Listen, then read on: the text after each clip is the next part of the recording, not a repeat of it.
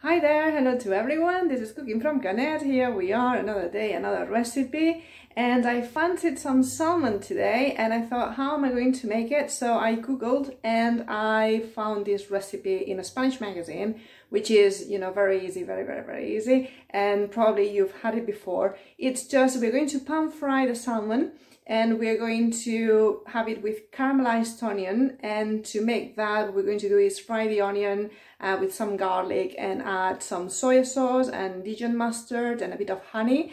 And we're going to create like a sauce that's going to go all over it. And then we're going to have all this with a bit of boiled rice. As simple as that. So i hope you uh, like this light lunch option or light dinner option.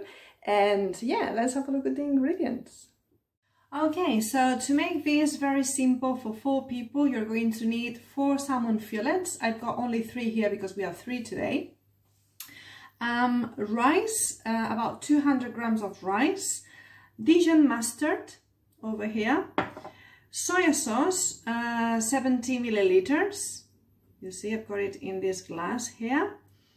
Bit of honey and three onions because they are they are not very big this one. So I have three onions here three cloves of garlic and some chives. This is optional. This is uh, for the end of it. So when we have everything dished up and we have the rice we can add a bit of chives. We, we're going to I'm going to chop some chives that I had in the fridge and I'm going to scatter over the rice to give it a bit more flavor. That's all but that's optional. Okay?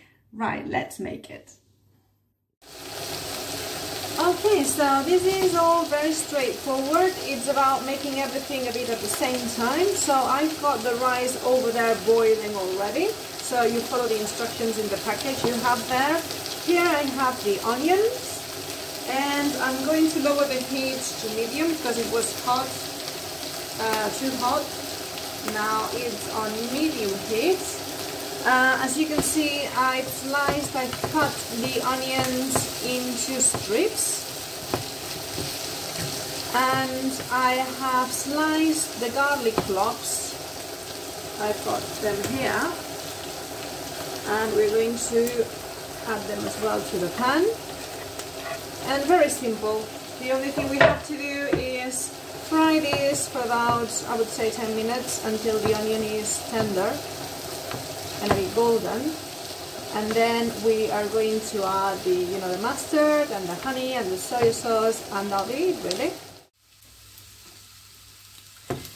okay so this has been cooking for about 10 minutes now. Um, you can see they are tender the onions are tender and a bit golden. So now it's just uh, time to add uh, the soy sauce.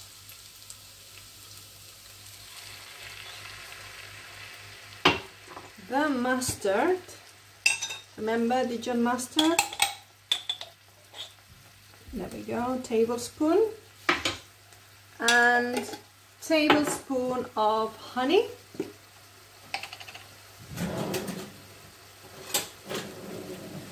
Over here. Yummy. Super.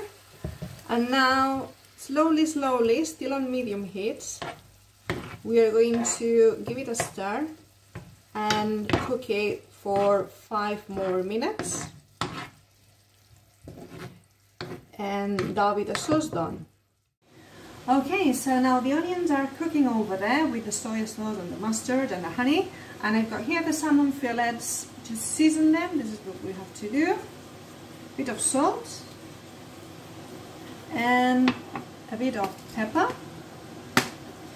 And in this pan I've started heating up some oil. So very simple. We're just going to pan fry them. Four minutes on each side and by that time the onions will be ready and then add the rice and then we can leave it up super right let's make this then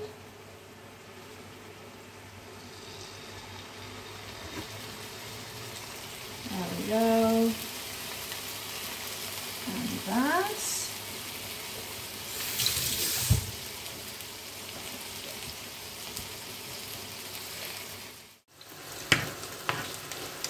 So you see now this the soy sauce has reduced considerably. And now this is getting the texture that we are looking for. So not too runny. And all like a kind of a sauce. We can leave it for a few more minutes. Just keep stirring. And we are nearly there okay so the onions are ready on the stove. Let me show you. I've reserved it over there. Because uh, now I'm waiting for the salmon to finish. A couple more minutes. And what I'm going to do in the meantime is start chopping the chives. And then everything will be ready and we can dish it up. Okay so here we are. Time to dish up now I've got the salmon fillet there let's put some of the sauce all over it and the onions. Very, very simple. Just like that. Now a bit of rice on the side. There you go. A bit more as I say if you have a bit of uh, if you have some chives you can do that.